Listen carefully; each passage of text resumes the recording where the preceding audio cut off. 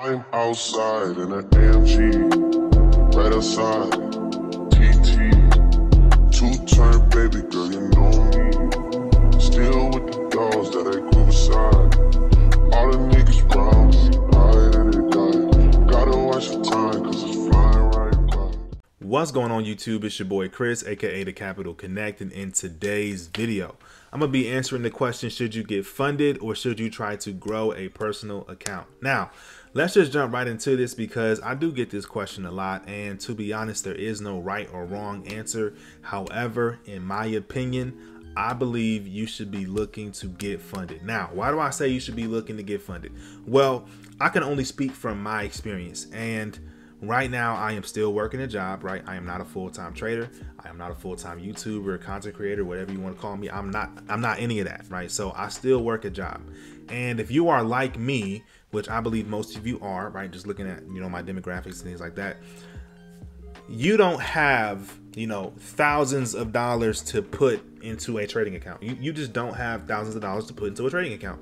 So in order for you to grow your personal account, it would be a slow and painful thing to do. Like I tried to do that, right? Last year, you know, I put like two, three thousand dollars into a trading account, and I was like, I'm gonna grow this trading account from, you know, three thousand to a hundred K, right? And it made sense at the time in the beginning, right? I was like, okay, yeah, this it's easy to do, you know what I'm saying? Just grow from three to hundred K. How hard can it be? It can be extremely hard, bro. It can be extremely hard because not only do you have to have the patience, right, to grow an account slowly but surely, but you also have to have the mental fortitude to know that as I'm growing this account and this number is getting bigger and bigger and bigger, I can't make any withdrawals from it, right? Or you have to make minimal withdrawals from it.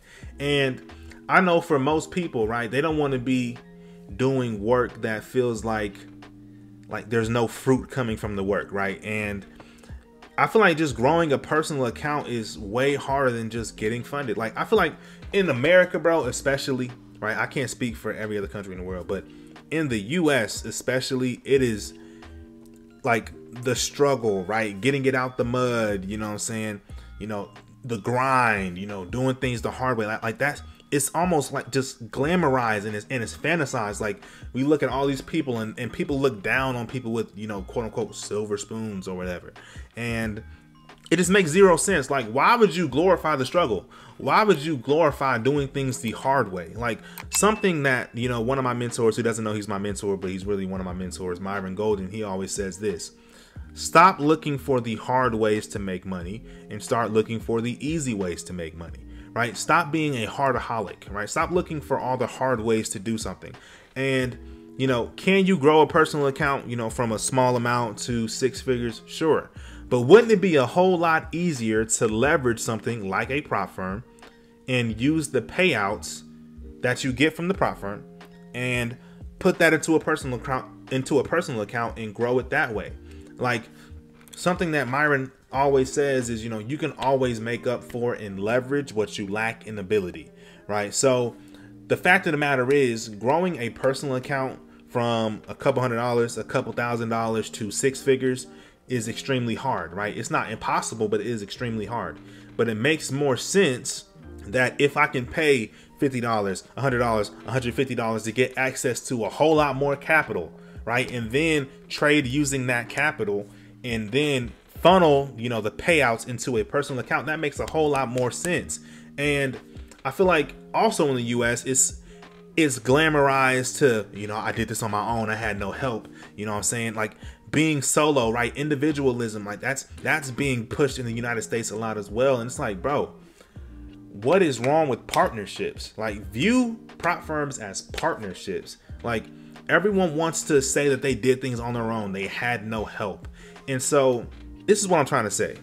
It is a whole lot better to have 50% of a watermelon, or in most prop firms cases, 80% plus of a watermelon, than it is to have a 100% of a grape, right? Do you really care about ownership that much? Do you really care about being known as someone who did it by themselves, did it on their own, got it out the mud? Like, do you really want to be known as that, or do you just want to have the money? Do you just want to be successful? Right? And so I believe prop firms are a good way for most people to grow their personal accounts. Now, I understand some of the drawbacks, right? There's, you know, rules you have to follow, you know, and at the end of the day, you can't really trust prop firms. I completely understand that.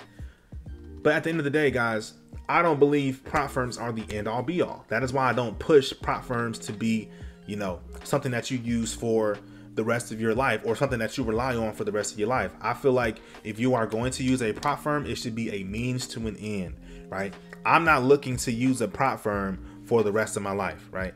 I may use a prop firm for the rest of my life, but guess what? I'm not going to be dependent on it, right? If I'm using a prop firm like Top Step, right? And by the way, this ain't an affiliation or a you know sponsorship or promoted video. I don't. I'm not affiliated with Top Step. I'm not affiliated with any broker, prop firm, none of that. You know, business brand. I'm not affiliated with any of them, right? I just so happen to use Top Step, and I can only speak from experience, right? But if I use something like Top Step and get funded, you know, 150k to you know, let's just say I let's just say I max out, you know, get three accounts with Top Step 150k, so 450k, right? If I have $450,000 in funding, okay? Do you know how much money I can make with $450,000 worth of funding versus if I'm just going to trade a $3,000 account, $5,000 account, however much it may be? Like I just think as a whole, guys, for most people, the right answer would be or the quote unquote right answer or the best answer I should say would be to get funded. Get funded, leverage other people, right? Leverage other people's money, right? Leverage partnership, bro. Partnership is how you really get things done, right? You don't if you go by yourself, you can't really go far, but if you go with the group, you can go as far as you want, man. So, I feel like most people should look to leverage prop firms, right? Leverage prop firms. Here's the process. Prove you can trade with a prop firm, right? get the account, get funded, okay? Get payouts. Use some of the payout money and funnel it into a personal account. And once you have built your personal account up to enough, you know, to a high enough balance or whatever that balance may be for you, for you to feel like you can, you know, survive on it solely, right? Then if you just want to be done with prop firms and you don't want to be dealing with the, you know, rules and all that, okay, then you can just be done with the prop firms and then trade your personal account but I guarantee you, you will get to your goal as far as your personal account balance a whole lot faster leveraging a prop firm than you would trying to grow it by yourself. Right? Stop looking for the hard ways to make money. Start looking for the easy ways to make money. And that's another thing too. Like, I feel like in the US, bro, people be they are so opposed to, you know, making money quickly, right? Like like we always hear these get rich quick, like oh this is a get rich quick thing. Like bro, like I don't believe in get rich quick strategies. However, I also don't believe in getting rich slow.